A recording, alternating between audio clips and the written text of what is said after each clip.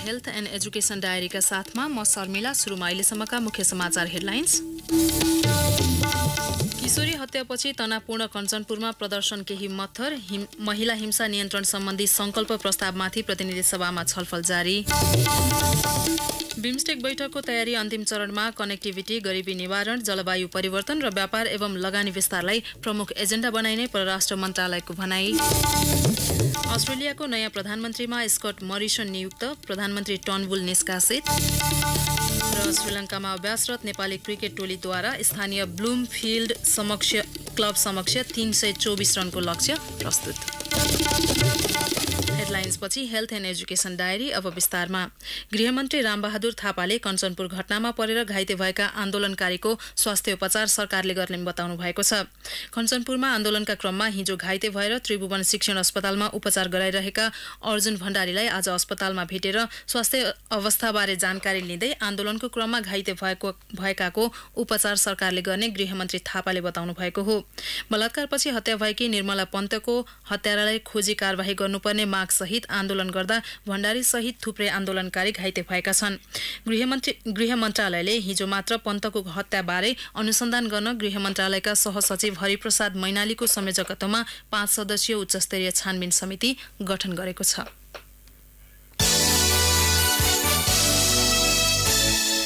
पोखरा विश्वविद्यालयको परीक्षा नियन्त्रण कार्यालयको आन्तरिक सफ्टवेयर सिस्टम ह्याक गरेको आशंकामा एक कर्मचारी पक्राउ परेका छन्। सबै कम्प्युटरका पासवर्ड परिवर्तन गरी सिस्टममा छेडखानी गरिएको आशंकामा विश्वविद्यालयको जाहेरीपछि प्रहरीको केन्द्रीय अनुसन्धान ब्युरो सिआइबीले अनुसन्धान थालेको हो। घटनाका शंकास्पद दुईजना कर्मचारी फरार छन्। पोखराको लेखनाथ ढुङ्गेपाटन स्थित केन्द्रीय कार्यालय परिसरका सबै कम्प्युटरमा पुराना पासवर्डले काम नगरेपछि मंगलबार विश्वविद्यालयको आकस्मिक बैठक बसेको थियो। इन्जिनियरिङ तर्फका सयौं विद्यार्थीको जानकारी संग्रहित सिस्टममाथि छेडखानी हुनु गम्भीर भएको भन्दै विश्वविद्यालयले अनुसन्धानका लागि सिआइबीलाई अनुरोध गरेको थियो। सफ्टवेयर सिस्टमले काम नगरेपछि अस्ति बुधबार विश्वविद्यालयका केही जिम्मेवार पदाधिकारीले परीक्षा नियन्त्रण कार्यालयमा कार्यालय समय बाहेक को पसेको थियो भनेर सीसीटीभी फुटेज हेरेका थिए। सो फुटेजमा बेलुकी सुरक्षा गार्डलाई झुक्क्याएर दुईजना कर्मचारी पसेको र उनीहरू एक घण्टा पन्ध्र मिनट बसेर कम्प्युटरका सिस्टमसँग छेडखानी गरिरहेको फुटेजमा पाइएको स्रोतले बताएको छ।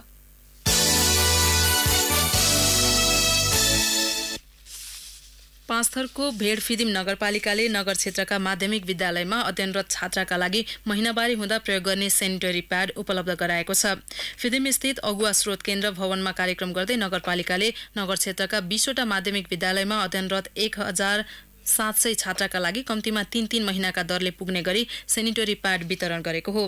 विद्यालय मार्फत उपलब्ध गराइएका सेनिटरी प्याडमा प्रयोग पश्चात विसर्जन गर्न पनि प्रत्येक विद्यालयमा एक एकवटाका दरले डस्टबिन समेत उपलब्ध गराइएको नगरपालिकाका प्रमुख प्रशासकीय अधिकृत गुरुदत्त सुवेदीले जानकारी दिनुभयो।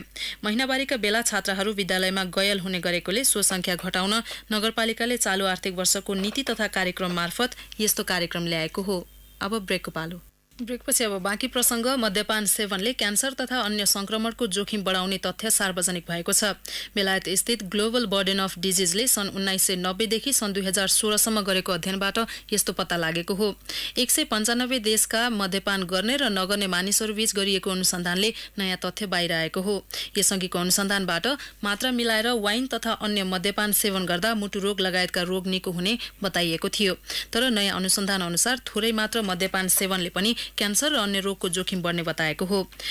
त्यसैले कुनै पनि प्रकारको मद्यपान स्वास्थ्यका लागि हानिकारक रहेको अनुसन्धानकर्ताको दावी छ। अध्ययनका अनुसार विश्वका हरेक तीनजना मानिस मध्ये एकजनामा मद्यपान सेवनकर्ता रहेको र विश्वभर मद्यपान सेवनकै कारण मृत्यु हुने उमेर समूह पन्ध्रदेखि उनापचास वर्षसम्म रहेको पाइएको छ। हेल्थ एन्ड एजुकेसन डायरी अहिले यहीँ सकिन्छ। पाँच बजे डिस्ट्रिक्ट डायरीका साथमा आउनेछौँ। तबसम्मलाई शर्मिला बिदा हुन्छु। नमस्कार।